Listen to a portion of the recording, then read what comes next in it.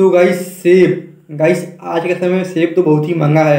अगर गाइस आप लोगों में से कोई हमारी ये वीडियो जम्मू कश्मीर या फिर हिमाचल प्रदेश से देख रहा हो तो बताइएगा कि आपके यहाँ सेब का रेट क्या है। तो एक बात बताता हूँ कि जो हिमाचल प्रदेश में है, वह मेरे ख्याल से लगभग सेब पचास से यार गाइस तीस के बीच में ही होगा।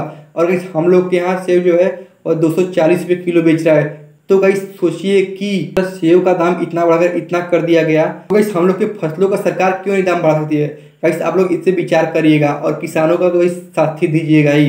तो गाइस आज की वीडियो में हम लोग क्या करने वाले हैं कि गाइस हम लोग लेंगे एक सेब और गाइस उसके साथ करेंगे बहुत ही शानदार व यूनिक सा एक्सपेरिमेंट गाइस उस यूनिक सा एक्सपेरिमेंट में क्या होने वाला है कि गाइस हम लोग ले लेंगे एल्यूमिनियम को। गाइस सेब के भीतर डालेंगे एल्यूमिनियम को।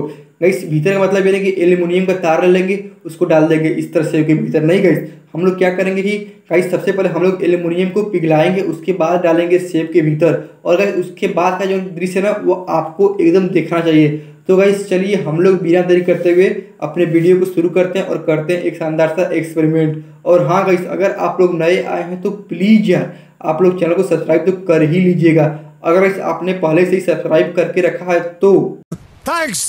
लव यू फॉर एवर देखिए क्या होता है।